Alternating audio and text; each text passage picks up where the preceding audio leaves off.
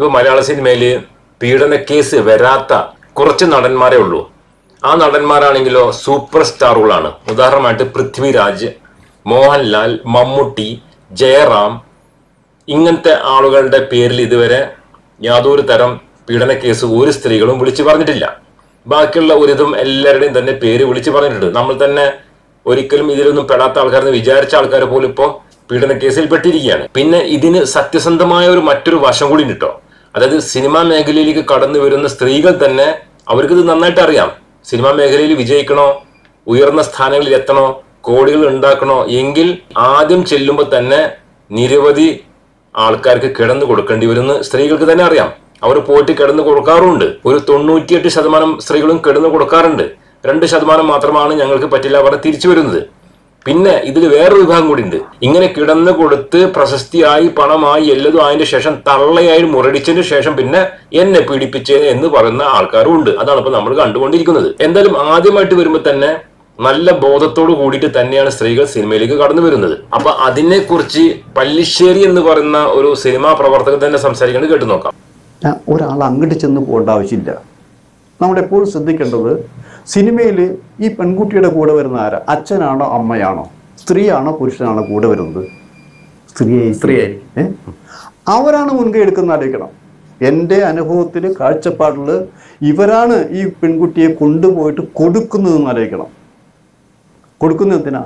പ്രലോഭനം കൊണ്ട്. അത് ശരിയാണത്. ഈ ഈ കുട്ടി നായികയായി വരുന്നു. ലക്ഷങ്ങൾ കിട്ടുന്നു. സിനിമ ധാരാളം കിട്ടുന്നു. ബഹുഭാഷയിൽ പോകുന്നു. മറ്റു നടിമാരുടെ വളർച്ച ചൂണ്ടിക്കാണിക്കുന്നു. അപ്പോൾ ഞാൻ അവിടെ മദ്രാസിലുള്ളപ്പോൾ ഞങ്ങൾ താമസിച്ച ഹോട്ടലിലേക്ക് ഈ കൊല്ലത്ത് നിന്ന് അമ്മിമകളും വരുന്നു. അന്ന് ഭാഗ്യരാജിന്റെ ദാവണിക്കനവ് കനവുകൾ ഷൂട്ടിംഗ് നടക്കുന്ന സമയമാണ് അതിലാണ് അഭിനയിക്കാൻ വന്നത്. അപ്പം ഞാൻ പറഞ്ഞു ചോദിച്ചു നാട്ടിൽ നിന്ന് അറിഞ്ഞപ്പോൾ അല്ല നിങ്ങൾ ഈ സിനിമയൊക്കെ അതിന്റെ കാര്യങ്ങളൊക്കെ അറിഞ്ഞിട്ടാണോ വന്നിരിക്കുന്നത്? അറിഞ്ഞിട്ടാണ്. അപ്പോൾ അവർ സാറ് ഞങ്ങളെല്ലാം അറിഞ്ഞിട്ടാണ് വന്നിരിക്കുന്നത്. അതിനെന്താ സാറേ പ്രശ്നമുള്ളത്? ഇത് അഴുക്ക് പിടിച്ചിരിക്കണമെന്നല്ല ഇതൊന്ന് കുളിച്ചാ പോകുന്നല്ലേ കണ്ടില്ലേ ഇത്രയുള്ള സംഗതി. അതായത് ഒരു തള്ളിയും മകളും വരികയാണ്. അതായത് അമ്മ മകളിനെ കൂട്ടി വരികയാണ്. അതിനുശേഷം അമ്മയും കിടന്നു കൊടുക്കുകയാണ് മകളും കിടന്നു കൊടുക്കുകയാണ്. അപ്പൊ അതിനെക്കുറിച്ച് ഈ ഒരു വ്യക്തി ചോദിച്ചപ്പോൾ ഇതൊക്കെ അറിഞ്ഞിട്ടാണ് വന്ന് ചോദിക്കുമ്പോൾ ആ അതൊക്കെ അറിഞ്ഞിട്ട് തന്നെ വരുന്നത്. അങ്ങനെ ഇപ്പൊ കിടന്നു കൊടുത്താൽ എന്താ കുഴപ്പം? ഒന്ന് കുളിച്ചാൽ ശരിയാവൂലേ എന്ന് പറഞ്ഞത് അത്രയും സിമ്പിൾ ആണ്. അപ്പൊ ഇതൊക്കെ ഏതോ കാലഘട്ടം മുതൽ ഇവരിങ്ങനെ കിടന്നു കൊടുത്തിട്ട് തന്നെയാണ് ഈ ഒരു മേഖലയിലേക്കൊക്കെ കടന്നു വരുന്നത്. പിന്നെ അതിനുശേഷം നടിമാർ പ്രശസ്തരാകുന്നു നടന്മാർ പ്രശസ്തരാകുന്നു അതൊക്കെ കഴിഞ്ഞതിന് ശേഷം ഈ പ്രശസ്തരായ നടന്മാരുണ്ടല്ലോ അവർ പിന്നെ ചെയ്യുന്നത് പീഡനമല്ല അനുവാദം ഇല്ലാതെ കയറി പിടിക്കലല്ല.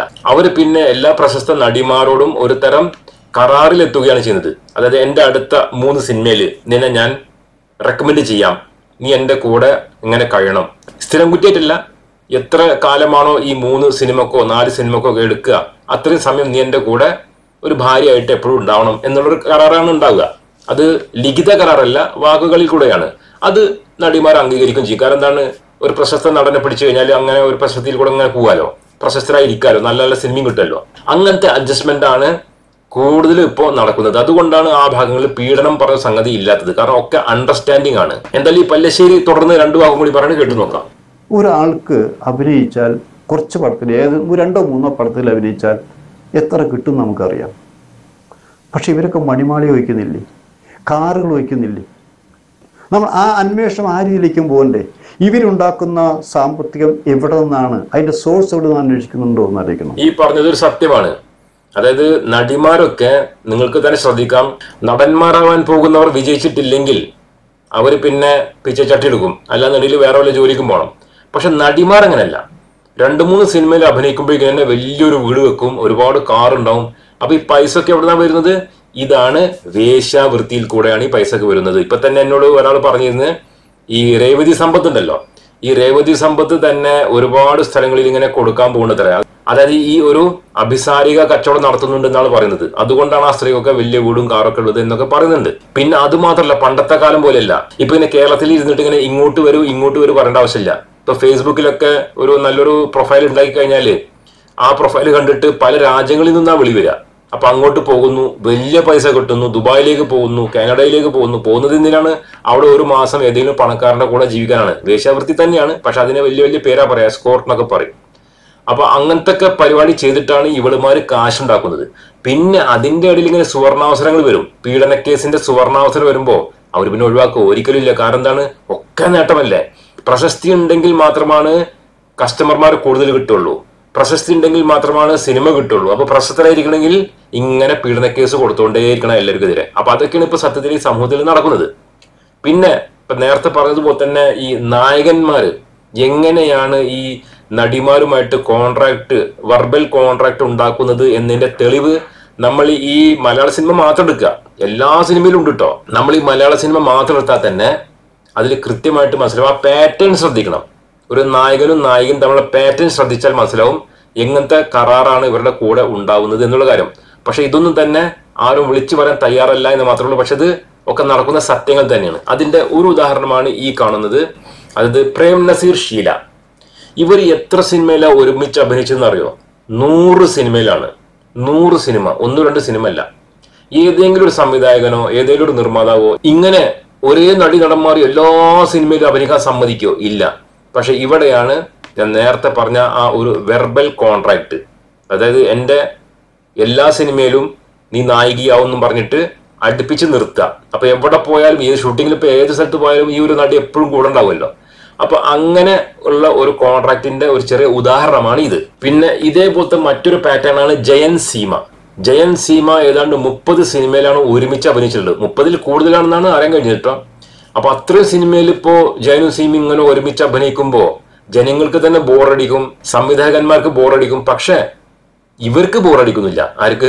ജയനും സീമക്കും ബോറടിക്കുന്നില്ല. അവർ മുപ്പതിൽ കൂടുതൽ സിനിമയാണ് ഒരുമിച്ച് അഭിനയിക്കുന്നത്.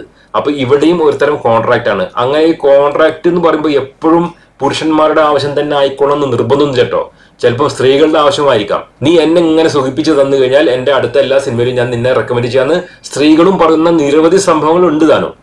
പിന്നെ അതേപോലെ തന്നെ ജയൻ മരണപ്പെട്ടതിന് ശേഷം പിന്നെ നമ്മൾ കാണുന്നത് മമ്മൂട്ടിയുടെ കൂടെ അമ്പത് സിനിമയിലും കൂടുതലാണ് സീമ അഭിനയിക്കുന്നത്. മമ്മൂട്ടി സീമ മമ്മൂട്ടി സീമ. അപ്പൊ ഇതിന്റെ പിന്നിലൊക്കെ പ്രവർത്തിക്കുന്നത് ഇതുപോലത്തെ കരാറുകൾ തന്നെയാണ്. പിന്നെ അതിനുശേഷം സീമ ഒക്കെ ഒന്ന് വിട്ടു നിന്നപ്പോ പിന്നെ കാണുന്നത് മമ്മൂട്ടി മാധവി.